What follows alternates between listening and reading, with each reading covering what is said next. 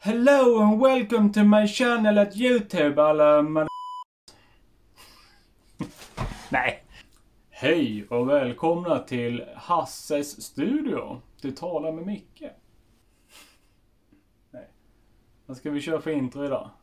Vi kör något sånt. Oh. Smack! Please take the net.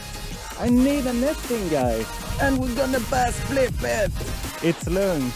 I don't need a net. du vet svartstångsspöna, de håller för allt va? Vad ska vi tala om idag? Jo, det ska jag berätta för er. Det är så att det är jättemånga som har hört av sig angående formarna till eh, kanalbetet. Och det är så jäkla roligt. Men så är det jättemånga som säger att Åh nej, det är så himla dyrt att börja göra jiggar och ditten och datten och... Nej, det är det inte. Eller det kan, det kan vara det, men det behöver inte vara det.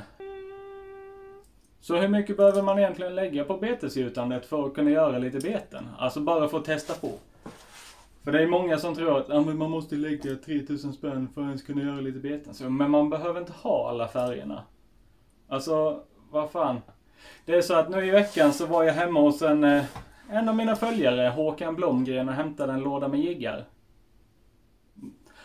Här borde den vara just nu, men jag går och hämtar den.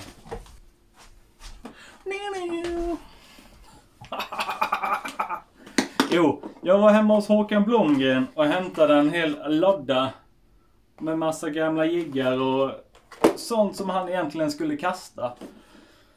Så tusen tack Håkan. Det är liksom en salig, röran jäkla blandning här. Det finns lite allt möjligt. Hur många av er där hemma har inte en jäkla massa jiggar liggande som har liksom ja, men blivit söndertuggade och som gäddfiskare blir man ju av med paddlar hela tiden. Abborrfiskare också för den delen men Så vi ska helt enkelt smälta ner det här. Kanske inte alltihopa men till stor del. Eh, vi ska smälta ner och sen ska vi se vad vi kan hitta på för kul med gamla jiggar. Jag har aldrig gjort det innan. Så det blir första gången för mig också. Vilket ska bli jävligt spännande att se vad fasen vi kan hitta på för något kul med dem.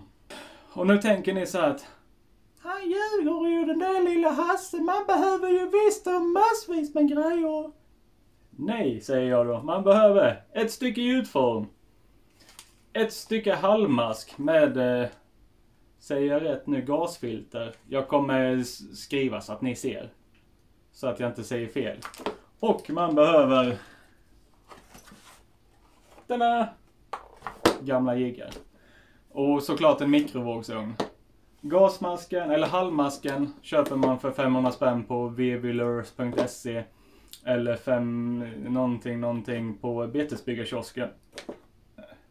Gjutformen 300. Och trasiga jiggar. Väldigt mycket pengar som ni redan har lagt en gång innan. Så varför inte använda jiggarna en gång till? Och så behöver ni såklart en mikro. Ta inte den ni lagar mat i utan fixa en begagnad mikro. Jag köpte min mikro för en 50-lapp. Så eh, jag drar på mig masken.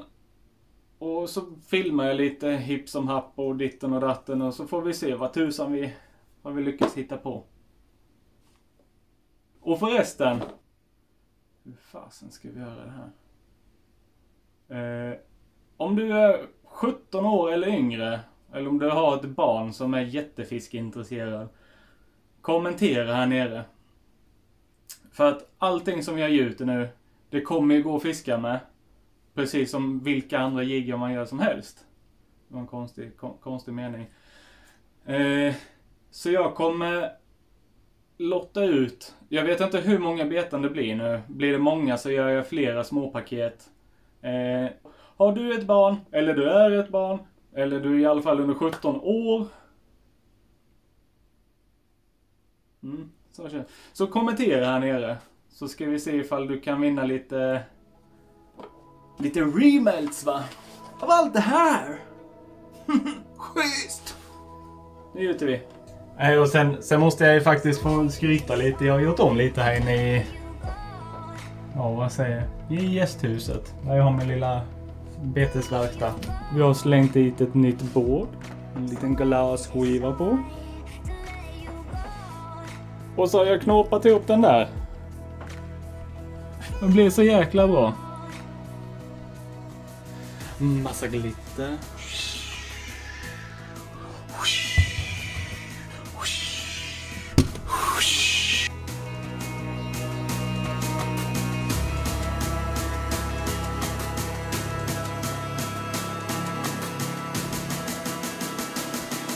So why is it so hard to let you go?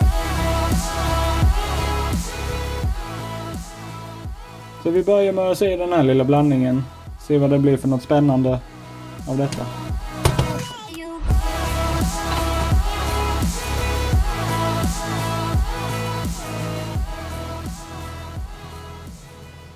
Och så jäkla enkelt kan det vara att göra en liten slaskig. Nu kanske det inte blir en färg som jag föredrar att fiska med, men å andra sidan sett så har jag aldrig testat den heller. Så eh, vi ska testa smälta ner lite olika kombinationer av det som fanns i lådan. Och så får vi se vad fasen det blir av detta. Och jag kommer som sagt bara använda gamla jiggar. Eller gamla, vissa av dem är ju nya också men. Så nu tar vi och gjuter på lite grann och så, och så, bara, och så bara kör vi.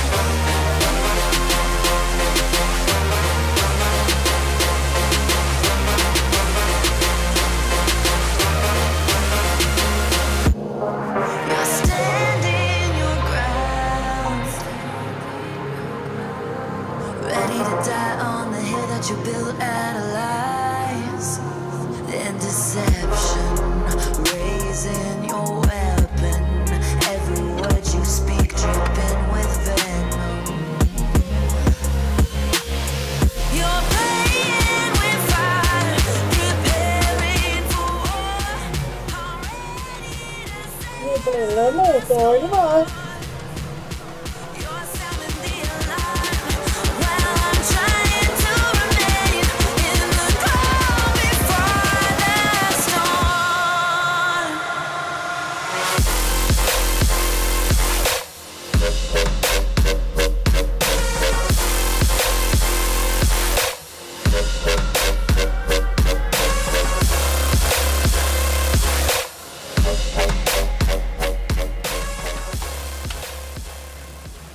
Det bästa med att ha en sån här jäkla mask är att skägget blir så jäkla snyggt. Men det skiter vi i nu. Nu, eh, nu är det så här att nu har vi två stycken färger till att kunna slänga i. Så nu kör vi den här lilla mixen och så får vi se vad det blir för färg av den. Och den ser ut så här. Lite grönaktig. Vet ni vad vi... Jag funderar på ifall vi ska testa slänga in lite motoroljeklump här och... Se... Ja, men det gör vi. Ja, vi testar. Jo, nu ser den ut så här. Och så klipper jag. Nej, jag är inte nu. Och så nu så klipper jag så, så får vi se vad den har för färg sen då. Så... Åh! Det var ju skittråkigt. det var inte alls som jag tänkte det skulle bli. Men... Eh, ska vi förstöra det med något annat? Eller ska vi slänga in lite mer motorolja? Nej, vi låter den vara så. Vi kör.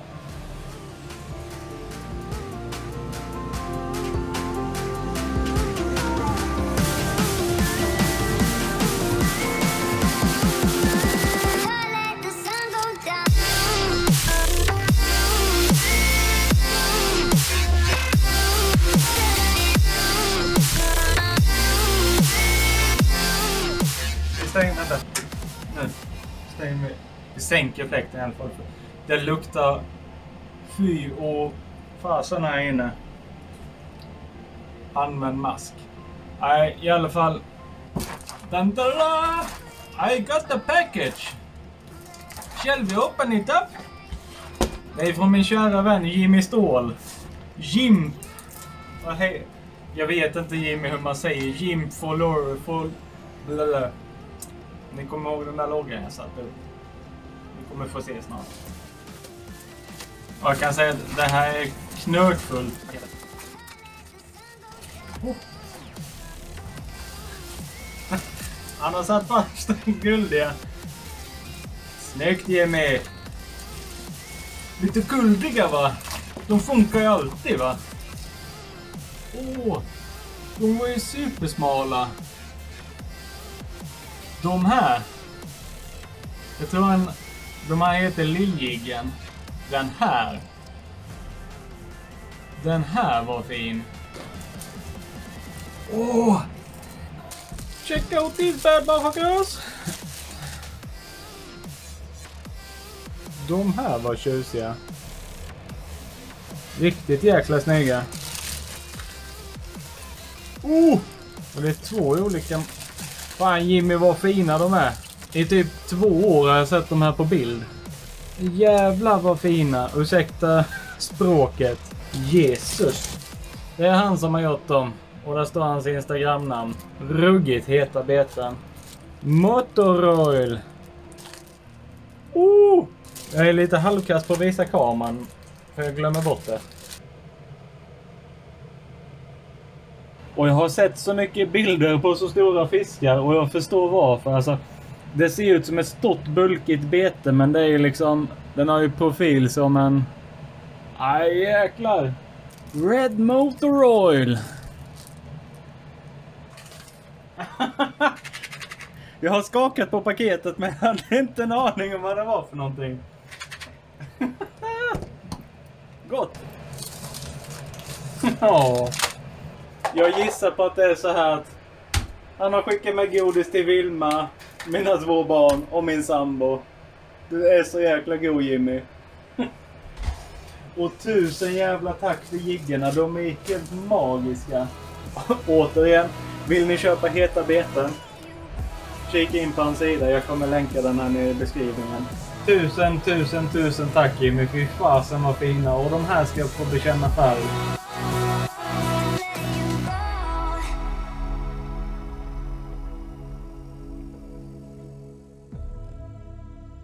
Sen kom jag på en sak till. Nähä. När jag började gjuta beten så körde inte jag någon airbrush eller någonting. Utan jag fick tipset om att köpa de här pennorna. Och bara stryka på. Det här är samma, det är samma bas. Den sjunker liksom in jättemycket. Det är en helt vanlig, vanlig tuschpenna. Och så har jag liksom bara laddat lite. Vi kör bara någon sådär. Och alltså, för när den ligger några dagar sen så sjunker det in i gummit. Och så slutar det med att den ser ut så här. Jag menar det är ett superenkelt sätt att ändra jiggarna. Eller ändra färgen. De här små rackarna. De är ganska så... ganska så beige. Målar man bara lite svart på den så blir den helt... Alltså den får en helt annan karaktär. Så lite svart på ryggen på dessa och låta dem stå några dagar så att färgen sjunker in.